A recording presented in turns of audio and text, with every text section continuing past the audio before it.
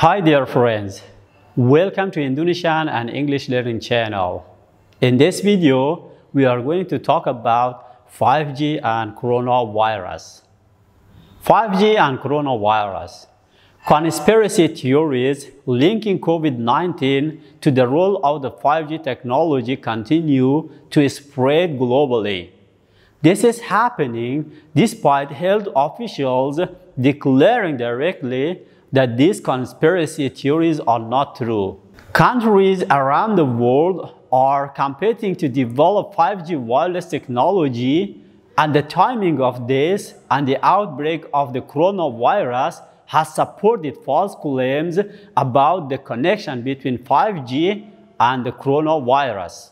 One is the false claim that 5G radio waves cause COVID-19 and suppress the immune system.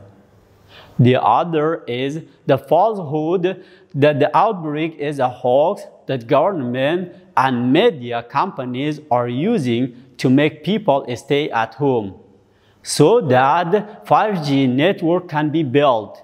Social media help spread misinformation about the coronavirus. People are advised to think critically about the information that they see and hear before they share it with others. This is the end of our news for today. Thank you very much for watching. If you are new with us, don't forget to subscribe our channel and turn on the notification bell